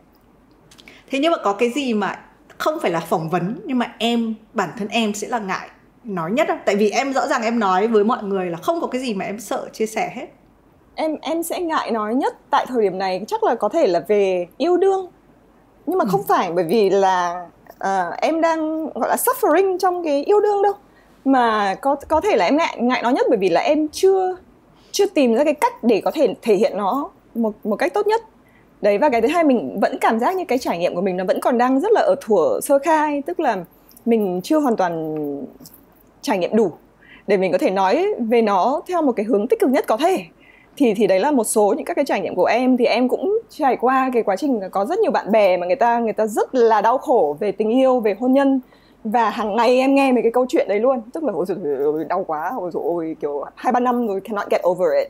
Um, thì có thể là bởi vì cái cái impression của em về về cái tình yêu ấy nó vẫn còn đang được định nghĩa bởi những các cái trải nghiệm của mọi người xung quanh em. Cho nên em chưa có một cái thật sự quá tích cực về mặt nói chung nhá để nghĩ để nghĩ ừ. về nó còn còn cá nhân em thì em vẫn thấy rất là ok về về về về cái, cái bạn của em hiện tại nhưng mà em chưa có một cái suy nghĩ đủ sâu và đủ tích cực về về tình yêu thì cho nên là em sẽ chưa dám nói về tình yêu chị ạ ừ. thế nhưng mà ừ. chị sẽ hỏi chung chung là tình yêu thì chiếm bao nhiêu phần trăm cuộc đời em tại vì nhá những cái người phụ nữ mà mạnh mẽ rồi làm nhiều việc rồi làm chức to mọi người sẽ hay cho rằng là cô ý hay gạt hay coi nhẹ chuyện yêu đương và cá nhân còn em sao? Thực ra đấy cũng là một thực tế của em. Um, trong quá khứ cách đây vài tháng trở lại đây thôi thì thì em nghĩ là tình yêu nó chỉ dưới 10% trong cái suy nghĩ hàng ngày của em. Dưới 10% ấy.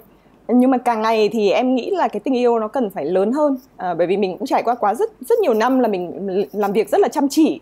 Tuy nhiên thì mình sẽ lại hơi bị kiểu quạo quạo bố mẹ mình gọi lúc mà mình đang bận thì tại sao lại gọi con lúc này? Con đã bận lắm. Gọi lại sau đi xong rồi hai ba ngày sau em cũng không gọi lại chẳng hạn đấy hay là ví dụ như có những người bạn bè rồi là toàn miss call tận hai chục lần ờ, trong cái điện thoại của em. Uh, thì thì chỉ khoảng độ vài tuần nay thôi.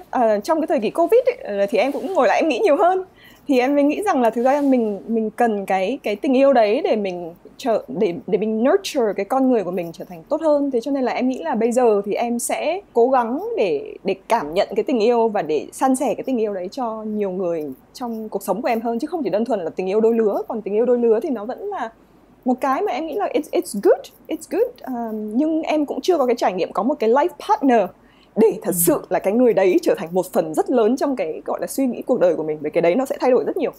Vâng đúng không thì ừ. thì chị chị Thùy Minh thì chị cũng chị suy nghĩ như thế nào ạ về về love and and partnership? Em là đang là guest mà em cứ mỗi câu chị hỏi em lại phải hỏi lại chị một câu thế à bởi vì chị Thùy Minh biết không? Chị là một người rất là mysterious ấy vì chị chị hay đứng đằng sau những à? cái um, cái à? cái cái buổi phỏng vấn này rồi chị cũng dẫn rất nhiều thứ. Nhưng mà người ta rất em em nhá em rất là curious xem là ngoài cái việc là cuộc sống của chị ABCD như ra sao. Nhưng mà thực thực chất là trong trong cái não của chị nó đang nó đang hoạt động như thế nào? Em rất là curious. Bởi vì sao? Bởi vì là em cũng khá là được inspired bởi những các cái interview của chị này. Rồi các cái content ừ. mà chị tạo ra em thấy là ô oh, hay đấy hay đấy. Kiểu you know có tính giật tít rất là cao có cao có tính creativity rất là cao. Nó đúng luôn cái tim đen của xã hội chẳng hạn. Thì thì em rất là thích nó cho nên em rất curious đối với những người như thế. Thì họ họ nghĩ như thế nào? Cái não của họ động ra sao? Chị cũng curious mà em. Chị cũng có biết đâu chị thấy thích nhất chính là ông ờ, cái một cái tác giả chị rất là thích là ông ờ, Yuval uh, Harari đấy chị rất là bet nhớ tên ông còn một chữ nữa trong tên của ông ấy. Cái người mà viết cái Homo sapien á nếu không thì ông ấy có nói một cái điều rất là hay là rất là nhiều các nhà khoa học họ nghiên cứu về thần kinh học nhưng mà họ rất là quên nghiên cứu cái não bộ của chính họ. Uh, chính vì thế nên cái chuyện thiền á nó trở thành một cái câu chuyện của cái thế kỷ này trở thành cái việc rất quan trọng bởi vì là có một cái việc đơn giản nhất. Trong lúc thiền người ta còn không người ta còn không điều khiển được não mình nó đi loăng quăng thì nói gì đến việc là nghiên cứu đủ các cái thứ linh tinh. Không nhưng mà chị nói thật là chị rất tò mò về việc uh, não của chị hay là não của người khác hoạt động cũng giống như em. Nên là chị học về tâm lý học này hay chị cố gắng học về về thần kinh học này để chỉ hiểu là chỗ nào nó làm cái function gì ấy. và cái não bộ của mình nó thích nhất là như nào nhỉ? Chị thấy nó không có một cái một cái bộ phận nào. Em học về sinh học đúng không? Dạ vâng em, em học, học về ờ đấy thì đấy thì cái này em cũng biết rất là rõ là không chị cảm giác là mà trong nó khó nhất cho chị trong cái việc nhớ bởi vì là uh, nó không bao giờ có một cái bộ phận nào chỉ là một việc uh, cho một cái việc thì não kiểu như là có mấy cái thành phần khác nhau nó cùng làm để cho là nếu mà hỏng một chỗ thì vẫn cái chỗ kia vẫn còn làm tiếp ấy đấy thì thì cái việc đấy kiểu khó khăn ờ, kinh khủng. Thực ra chị là người đơn giản chứ không phải là người quá phức tạp. Uh, nhưng mà những cái gì mà phức tạp nhất ấy Ờ, nhưng mà chị đúng là content person tức là khi mà chị nghĩ cái gì ấy, ví dụ hôm nọ con chị nói một nó nói một cái nó nó có một cái idea gì đấy rất là hay. Nó pitch một cái idea bây giờ chị không thể nhớ được nhưng mà chị cố gắng chị record lại. Thì cái việc đầu tiên chị sẽ nghĩ là thế thì mình phải làm một cái show để cho trẻ con 5 tuổi nó pitch những cái idea của nó. Ví dụ ừ. con chị nó luôn nghĩ rằng là để làm cái khoai tây chiên ấy là mình phải cần một cái cái vợt tennis. Tức là nó nghĩ là tức là nó hay nhìn thấy là mọi người chiên bằng cái cái giỏ ở dưới như này này. Thì đến ừ. thì nó bảo là trong nhà thì chắc là chỉ cần cái vợt tennis là sẽ làm được khoai cái khoai tây chiên này. Thì thì những cái thứ như vậy á ừ, với chị là content và chị nghĩ là uh, đấy thì cái đầu của chị là mọi thứ đều đều xoay quanh content. Nên là chị sẽ biết ngay là nếu mà em định em định lấy content gì từ của chị nên là quay về em này tiếp tục quay về em à, em về từ năm 2012 um, đến nay xong em lại làm trong ngành giáo dục nữa thì bản thân cái ngành giáo dục ở Việt Nam từ cái những cái năm em bắt đầu bắt đầu làm cho đến bây giờ cái thay đổi lớn nhất là gì? Người Việt Nam bây giờ giỏi lên rất là nhiều. Những bạn học cấp 1, cấp 2, cấp 3 à, cái khả năng ngôn ngữ của các bạn ấy đều tốt lên tốt hơn rất nhiều. Đấy và và các ừ. các gia đình thì họ đều có những các cái đầu tư cho con cái. Và Việt Nam là một trong những quốc gia ở trên toàn thế giới có những các cái sự đầu tư về giáo dục gần như là lớn nhất trong tổng cái sự đầu tư um, trên toàn thế giới. Uh, thì các nước khác nó đều thấp hơn mình rất là nhiều. Ngay cả Singapore là một nơi mà nền giáo dục rất cao uh, nhưng mà cái sự đầu tư cho giáo dục không nhiều bằng Việt Nam. Uh, thì thì cái đấy nó là một cái rất là hay. Từ năm 2012 đến bây giờ thì em cũng nghĩ là có nhiều trường quốc tế mở ra hơn này ở Việt Nam này. Rồi các bạn mà muốn học những các cái chương trình song ngữ các bạn hoàn toàn có thể làm được cái điều đấy này. Rồi càng ngày thì càng ngày gần như là cái việc đi du học nó là một cái điều dễ dàng lắm ấy cho cho các bạn Việt Nam ấy. Ngày xưa thời của, của em cách đây để để đi học được thì nó cũng phải là một cái wow phải giỏi lắm mới được đi đi du học. Còn bây giờ thì cái cơ hội nó đến với tất cả mọi người. Bộ giáo dục và sở giáo dục đào tạo cũng rất là cởi mở cho những các cái chương trình mới. Đấy thì em nghĩ đấy là điều tuyệt vời. Thì đấy là những cái mà mọi người muốn nghe. Còn những cái mà cũng thuộc về reality mà có thể nghe nó chưa hoàn toàn nó nó, nó appropriate lắm. Um, thì là uh, tài chính của người Việt Nam đang tăng cao hơn. Đấy ừ. thì cũng cũng rất là may mắn là người Việt Nam bây giờ thì cũng cũng bắt đầu vào cái middle class ờ, về mặt income range của thế giới. Đấy, hiện tại đang ở lower middle class nhưng mà trong vòng vài năm nữa thì mình sẽ lên được middle class. À, thì bởi vì có nhiều tài chính hơn cho nên là các bạn có nhiều cơ hội hơn. Đấy thì thì cái đấy nó cũng là một cái điều đáng mừng à, tất nhiên đối với những bạn mà vẫn còn khó khăn à, thì thì thì um, thì cái cái mà em suy nghĩ như này có thể cơ hội nó chưa đến với bạn hiện tại nhưng mà chắc chắn nó sẽ đến với bạn trong tương lai nếu như mà các bạn vẫn còn work hard chăm chỉ học tập làm việc dạ ừ. thì thì đấy là cái yếu tố thứ hai em có thể thấy nhưng mà em em rất là optimistic uh, về về cái ừ. tình hình giáo dục tại Việt Nam. Ừ. Thế thì cái higher standard của em trong cái ngành giáo dục uh, cho bản thân em đặt mục tiêu trong cái ngành làm của em sẽ là gì? Ừ. Nó sẽ là cho tất tất cả các bạn Việt Nam ấy có thể đứng chung cái sân khấu với cả những bạn khác trong khu vực và nhất là những bạn Hồng Kông, Singapore, Hàn Quốc, Nhật Bản. Ừ, có thể Nhật Bản ừ, tưởng chừng là các bạn ấy không giỏi lắm nhưng mà thực chất các bạn ấy rất là giỏi đấy có thể các bạn ấy nói không tốt Nhật Bản thì đúng là nói không tốt. Nhưng mà các bạn ấy có những bạn 14 15 tuổi các bạn ấy đều đã là director của những cái bộ phim mà bộ phim này có thể thắng giải. Hay là uh, 11 12 các bạn ấy đã bắt đầu làm athlete để có thể chơi uh, như cái kỳ Olympic vừa rồi chị thấy có những có những bạn 15 16 tuổi mà ừ. thắng giải giải vàng thì thì cái đấy trong vòng khoảng độ 5 cho đến 7 năm nữa em rất là muốn tất cả uh, các bạn trẻ Việt Nam có thể đứng chung cái sân khấu thế giới chứ không chỉ đơn thuần là so sánh chung với cả những bạn ở trong Việt Nam nữa mà hoàn toàn có thể tự tin với ừ. các bạn khác trên thế giới. Thế cái um, uh, mấu nối giữa hai cái nghề em đang làm là cái gì? Chị biết là lúc khởi đầu thì em gọi là cái duyên là em để em tình cờ em tham gia uh, ừ. truyền hình đúng không?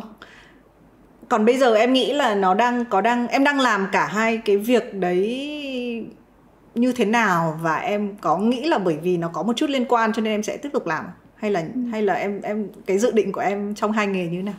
Dạ. Em nghĩ nó là hai cái hộp ở trong trong đầu như như chị vừa nói đấy. Trong não nó là hai cái hộp. Um, truyền hình uh, tại thời điểm này đối với em nó là nó, nó gần như nó là một cái cái uh, niềm vui. Uh, khi khi mà nó không làm full time job đối với em thì nó là một niềm vui. Còn, còn lúc nó là full time job thì nó hơi bị stressful một chút. Ừ, ừ. thì em trải qua cái thời gian để em em tự định nghĩa ra cái đấy nó là như thế đối với em. Đấy thì thì nó là một niềm vui và nó cũng là một cái công cụ để cho mình có thể tìm hiểu cái cái coi như là mình experiment cái gì nó work cái gì mọi người quan tâm cái gì mọi người hay nói chuyện về nó. Thì nó là một cái gọi là một cái để giúp em mặc dù vẫn ở trong nhà nhưng mà có thể đứng ở giữa cái cộng đồng ấy để để và ừ, xem ừ, cộng đồng ừ. đang nói gì. Vâng thì đấy là truyền hình. Còn công việc giáo dục thì nó vừa là giáo dục. Em nghĩ nó là một cái cái, cái hoạt động lớn uh, giúp em làm cái công cụ giúp em có thể biến cái cộng đồng của mình tốt hơn.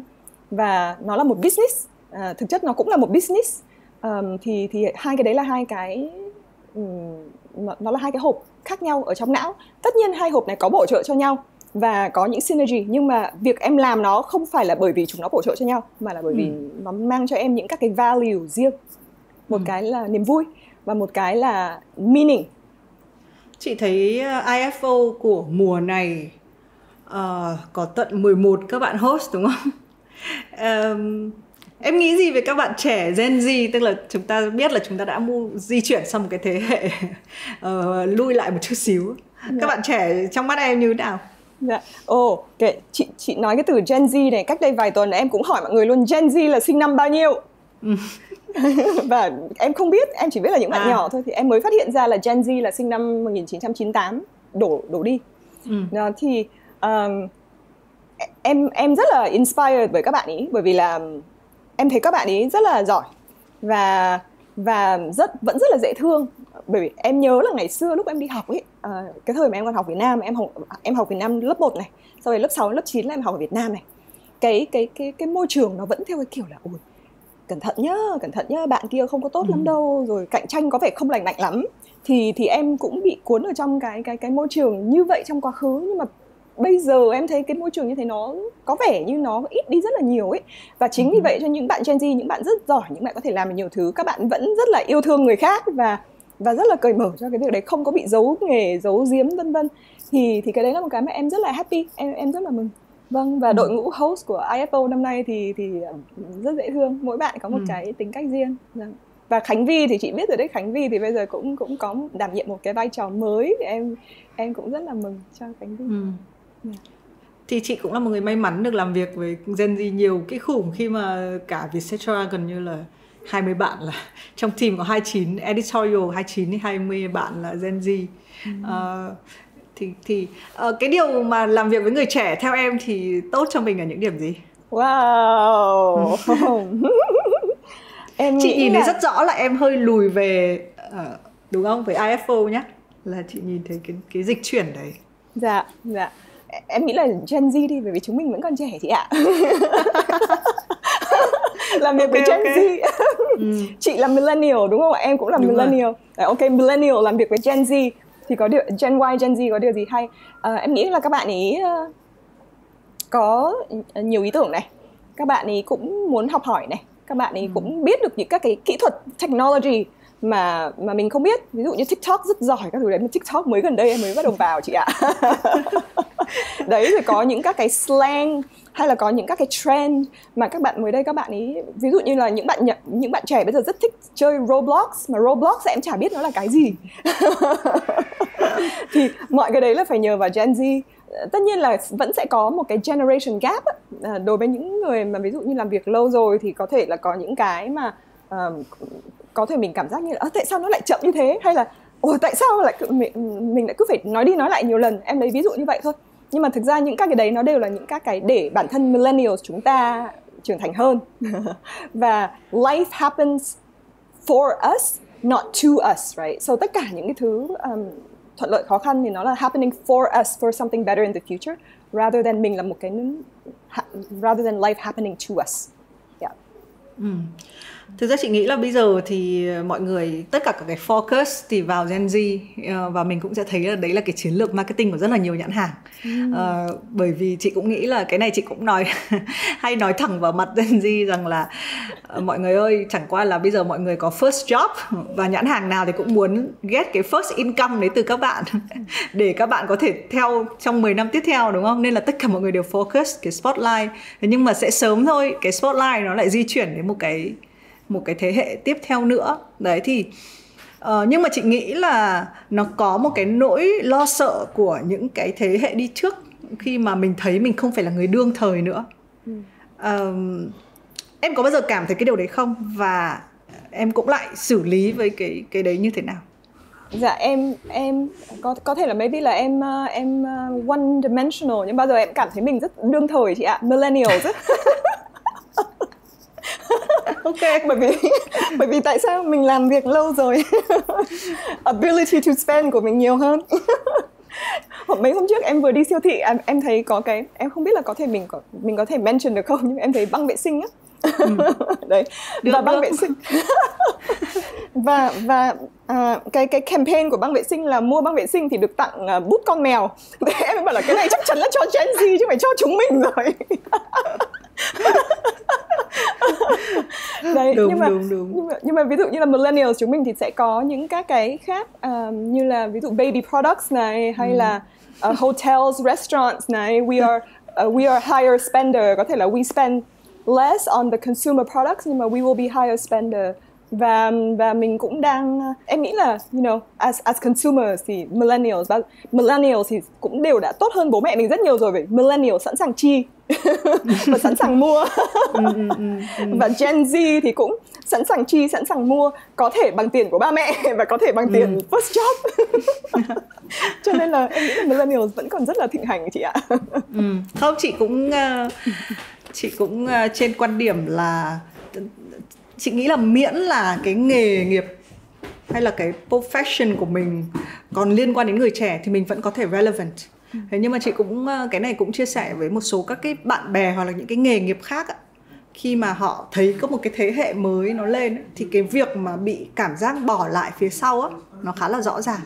Ờ, với một cái nghề ví dụ kể cả nghề truyền thông hay làm ờ, content á nó sẽ nó sẽ chuyển động liên tục và mình thậm chí mình không có thời gian để mình mình suy nghĩ mình mình nhìn trước nó sau. Thế nhưng mà với những cái ngành nghề khác á, thì nó nó có cái cảm giác bị bỏ lại phía sau cái cảm giác là tôi không relevant nữa tôi không hợp với cái thời này nữa. Đấy. Ừ. em nghĩ là em sẽ không bao giờ bị rơi chơi vào trạng thái đấy. Em nghĩ vẫn có thể vẫn vẫn có thể. Vâng nhưng mà em thì em ờ, em em cố gắng là không không nghĩ về nó bởi vì thực ra cách đây vài năm em cũng đã gặp một ông. Ông ấy tên là Jim Tannenbaum và ông ấy tám mươi mấy tuổi. Và Jim Tannenbaum là một sound producer tức là ông ấy làm việc ở trên các cái trường quay để ông ấy tạo ra những cái âm thanh hay ông thu âm cho những bộ phim. Đấy thì một trong những bộ phim rất nổi tiếng mà ông ấy làm sound producer là phim gì? Phim Avatar. Đấy làm ừ. việc với cả James Cameron. Thì uh, ông ấy làm việc trong cái phim trường này lúc ông bảy mấy tuổi? Và có một câu mà ông ấy chia sẻ với em trong cái thời gian mà ông ấy qua VTV để ông ấy dạy cho mọi người á là ông ấy bảo là tao tám mấy tuổi tao vẫn dạy ở trong trường ờ, đại học USC uh, đấy và tao dạy physics đấy à, thế, thế, thế rồi em mới hỏi là thế vậy thì ông cảm thấy chán không? Bởi vì người trẻ có những người mà kiểu ba mẹ pay để có thể đi học mà chưa chắc người ta đã đủ passionate. Thì ông bảo là ừ thì cũng có những người như thế nhưng cũng có những người rất giỏi. Và những người giỏi đấy vào làm đồng nghiệp của tao thì thì tao phải cảm giác như là tao phải tốt hơn. Những người trẻ đấy thì cũng cũng liên quan đến bạn nhà chị Thùy Minh là những người trẻ cũng có thể làm hoàn toàn khác những cái gì những mà mà uh, mọi người đang làm.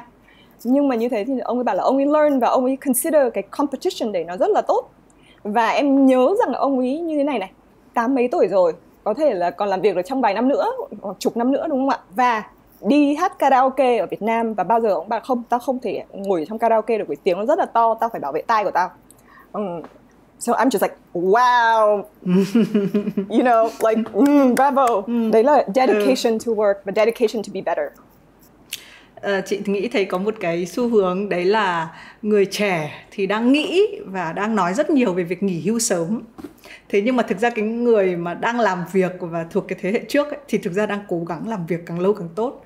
Mình thấy những cái người đúng không? Những ông uh, dẫn chương trình truyền hình ông David uh, đấy chị cũng lại quên tên ông ấy nhưng ông ấy bây giờ ông chín mấy tuổi ông vẫn làm những cái phim tài liệu uh, rất là khủng khiếp. Thì mình nghĩ là chị nghĩ nó cũng là một cái sự lựa chọn rồi chúng ta cũng nói chuyện là đủ thứ linh tinh. Chị thấy chị gặp em chị cũng trong trạng thái là chị không đi theo được con đường nào hết. Chị cứ mỗi lúc chị nói một chuyện khác nhau. Thế nhưng mà chị luôn biết cái câu hỏi kết của chương trình. À, bởi vì nó liên quan đến việc uh, đọc sách. À, chị muốn hỏi là nếu ngày mai em phải lên hoang đảo và không biết ngày trở về khi đi chỉ được mang theo một cuốn sách thì đấy là cuốn gì câu hỏi này của chị cũng cực kỳ là hay. À, có thể là cái câu trả lời này của em nó sẽ thay đổi trong ngày mai hay ngày kia. Nhưng mà tại thời điểm này hôm nay chắc là em sẽ mang theo đại việt sử ký toàn thư bởi vì là trên uh, đảo đấy thì sẽ có rất nhiều thời gian và trong cuộc sống bình thường chắc chắn bây giờ mình ngồi xuống mình đọc cái quyển đấy. Cho nên là perfect timing. Cho cái việc là đọc một cuốn sách mà cực kỳ khó để có thể bắt đầu đọc và để để để hoàn thành. Cho nên sẽ mang theo đại việt sử ký toàn thư. Nhưng mà không phải là lịch sử của cả thế giới mà phải là đại việt. That's a good question. Nếu như chị có cái quyển nào mà lịch sử toàn thế giới thì chị hãy giới thiệu cho em và em sẽ suy nghĩ. Không nó cho thấy em có một chút ám ảnh về ờ, về tiếng việt văn hóa việt đấy nhá. Vâng đúng rồi đúng rồi ạ. Em vừa mới mua một tập truyện dây như này này của Nguyễn Huy Tưởng nhưng mà em chưa đọc được trang nào hết. ừ chị chị nghĩ là chị rất nên đọc uh, vì là nó, chị cũng chưa đọc đâu em. Uh, chị cũng hay bị uh, đọc những cái cuốn lịch sử thế giới các thứ cũng cũng quên mất là đôi khi là mình cũng phải quay về chuyện trong nhà có rất là nhiều chuyện hay. Nhưng chị cũng rất là thích cái ý um, cái ý đấy như một dạng chân lý. Đấy là thực ra con người ta thay đổi á mỗi thời điểm mình sẽ mang một cái cuốn sách khác nhau đúng không? Chị nhớ một trong những cuốn sách yêu thích của em là cái Winner's Dream chẳng hạn thế. Thế nhưng mà đến lúc mà mình đi sang một cái chuyến đi thì mình lại nghĩ đến các cái hoàn cảnh khác nhau để mình mang những cuốn sách khác nhau uh, ok cảm ơn em. Hy vọng là em không phải lên hoang đảo. Điều đấy đồng nghĩa là em vẫn nên đọc cái cuốn đấy không nên không nên đợi đến lúc lên hoang đảo rồi rồi mới đọc. Vâng, um, em cũng mong có một thế cái nốt có một cái nốt uh, cuối nhé À, Phoebe có biết là hôm nay Phoebe chị còn thấy có mấy người comment là không quen uh, nghe thấy Phoebe nói tiếng Việt ấy là một người quen với hình ảnh Phoebe nói tiếng Anh. À, có một từ hôm nay Phoebe nói sai mà nói rất nhiều lần. Nó là từ gì hả chị? không nhưng mà khi mà nói sai á nó lại tạo ra một thứ rất là đúng. À, đấy là từ bế tắc chứ không phải bí tắc. À. Tại vì mình cứ hay dùng những cái từ uh, tiếng Việt có nhiều từ Hán ấy, cái chữ bế tắc á, nó có một chút có cái cái cái gọi là mình có tiếng Hán Việt ấy. Đấy. Đấy. Thế nhưng mà em lại dùng được một từ rất hay là từ bí tắc mà cái từ bí tắc thì nó nó vừa có chung một nghĩa mà nó lại vừa tách ra được là chữ bị lúc mà mình bí đúng không? Về lúc mà mình mình bị tắc đấy nên là lúc này chị thấy em nói rất say sưa và chị bảo là chị sẽ ghim cái chữ này để chị dùng chị kết lại chương trình ngày hôm nay. oh, thank you chị. bế tắc chứ không phải bí tắc. Ừ, thực ra ừ. đấy chị trong đầu em biết từ bế tắc nhưng mà đấy lúc ừ. mà nói nó lại ra chữ bí tắc. Ừ. Ừ, và ví dụ như là trong đầu em thì em biết là có cái từ là mô phạm nhưng mà khi mà em nói ra nó lại thành mô phật thì thì nó là những cái từ mà mà đấy thì mình mình cần phải tập mà. Và nhiều khi thì cái đầu của mình nó nó nó không react nhanh được bằng bằng không như chị nghĩ ngoài ra thực ra chúng ta nên nghĩ ngược lại tức là ngôn ngữ sẽ phục vụ con người đúng không? Cái gì nó và chị đấy nó quay về đúng cái mà mình bàn từ lúc đầu là vẫn còn ngã ngũ cái việc tranh cãi là ngôn ngữ nó nên là một cái thực thể sống nó sẽ tiến hóa nên nó sẽ form theo cái mục đích sử dụng và thế hệ sử dụng chứ nó sẽ không bao giờ là một cái có thể nó sẽ có những cái của cải sẵn ở đấy uh, cho vào bảo tàng và nếu ai cần research nghiên cứu quay trở lại uh, tìm nó đúng không? Nhưng nó cũng có những cái thứ mà nó sẽ phát triển nó là cái cơ thể mà đúng không? Lớn lên. Hay là cái cái chuyện mà như kiểu đôi khi mình mix tiếng Anh tiếng Việt vào á chị vẫn tin nó cũng chính là một dạng tương lai của ngôn ngữ tại sao là người ta cứ phải học từng các cái ngôn ngữ khác nhau? Sao người ta không giỏi tất cả các ngôn ngữ và sau đấy người ta trộn nó vào?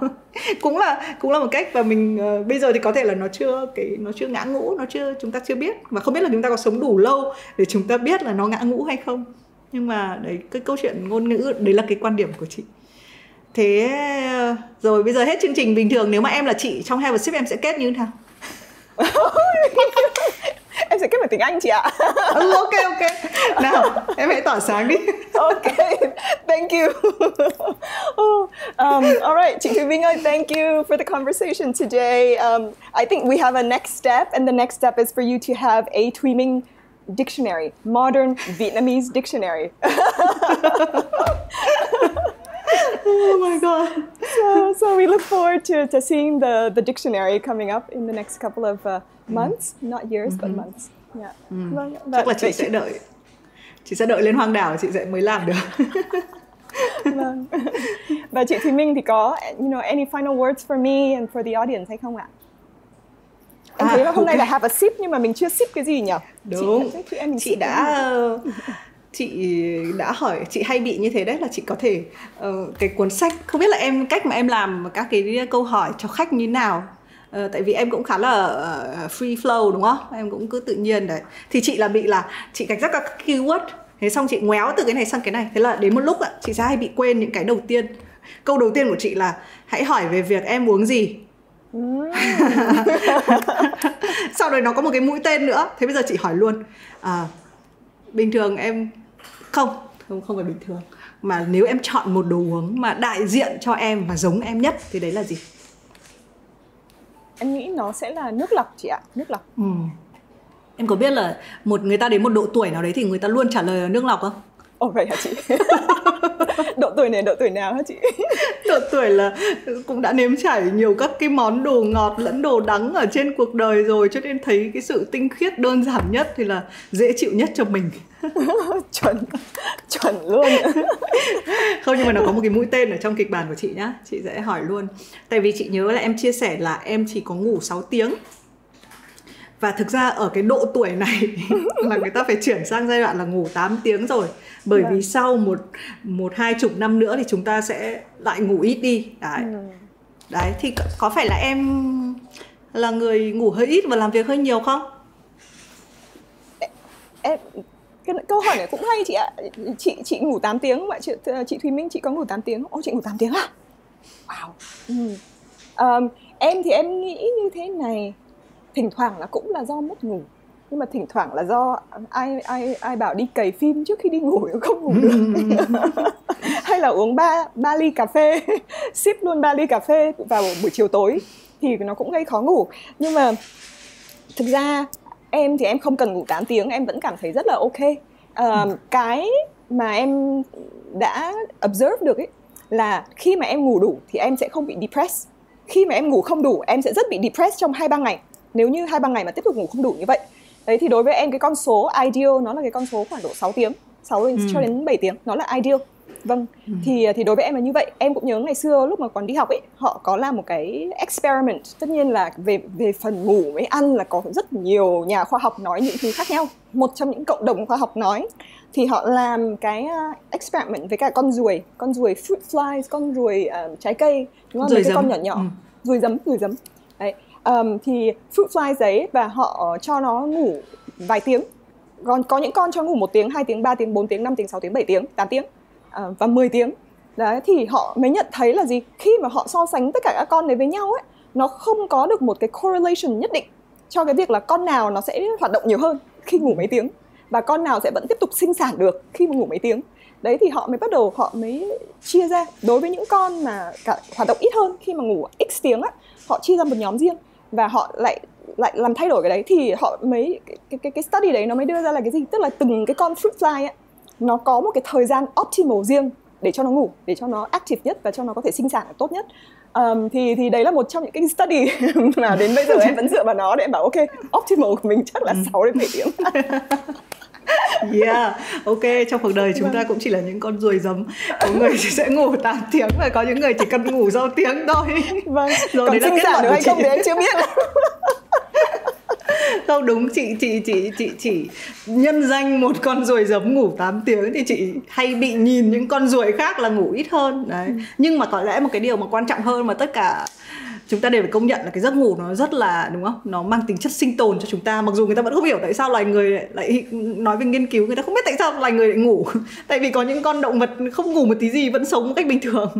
Đấy thì thì người ta vẫn không hiểu tại sao mình lại phải dành đến một phần ba cuộc đời của mình để ngủ. Nhưng mà đấy có lẽ là một cái thứ mà chị thấy tính thế hệ này sau nó bị lộ ra chính là cái giờ sinh học của chị.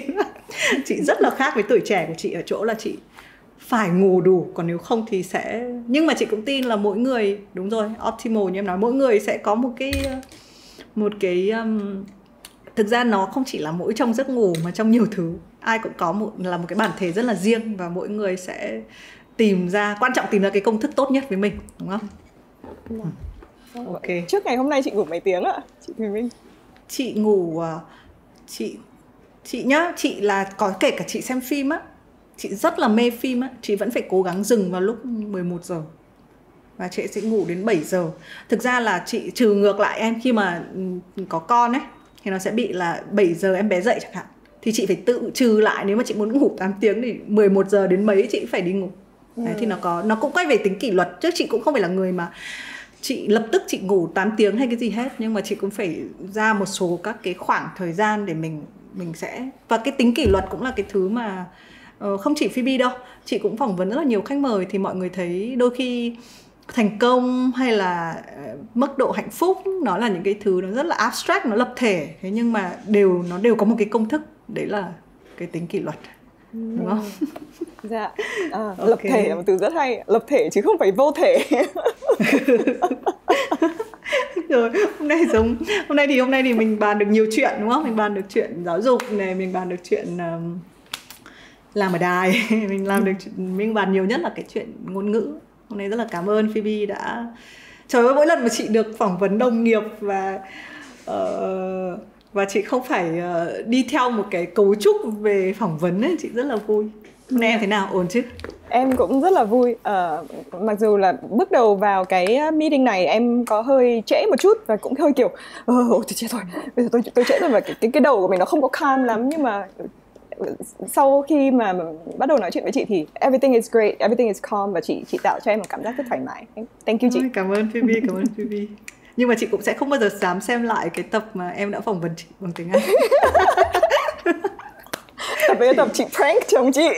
không, và nha, thì mình biết là ngay cái phần cuối này có một số người sẽ đang vừa nghe cái đoạn này và search cái đấy nhưng mà không nên nha bởi vì là mặc dù mình biết là nói những câu này nó cũng chẳng có một giá trị gì với mọi người đâu nhưng mà ôi rồi ôi chị thành ra chị cũng có một lỗi lo sợ khi gặp em vì chị. Đấy chính là người đã dắt vào vào với cái khung cảnh đấy với chị. Dù sao thì rất là cảm ơn. Hôm nay chị cũng cười rất là nhiều và hy vọng là các khán giả của Have a Sip thì mình vẫn hay ờ, hay rất là cảm động mỗi khi mà nhận được ờ, tại vì cái chương trình Phoebe cũng sẽ thấy rất là khác là toàn bộ cái phần nói chuyện của mình nó sẽ lên hết. Tức là chị, gần như chị không có cắt hay biên tập một cái thứ rất là tự do so sánh với cái thời gian mà chị phải làm ở đài, là mình phải biên tập theo đúng cái thời lượng chương trình ấy, đúng không? Đúng bao nhiêu thì nó là bao nhiêu. Còn khi làm podcast thì nó cứ thoải mái tự do. Ờ, và chính vì thế thì mình rất là trân quý cái tình cảm của mọi người là có thể một cuộc nói chuyện nó rất là dài nhưng mà mọi người vẫn nghe và thỉnh thoảng mọi người để lại những cái bình luận. Rất là cảm ơn mọi người đã theo dõi và rất là cảm ơn Phoebe vì đã đến với Have a Sip. Và hy vọng là chúng ta sẽ maybe là chúng ta sẽ phỏng vấn nhau một ngôn ngữ thứ ba sau đây. Ngôn ngữ Gen Z. Ok rồi cảm ơn Phoebe nhá hẹn gặp dạ. lại vâng em cảm ơn chị bye bye bye bye chị bye bye khán giả của Have a Sip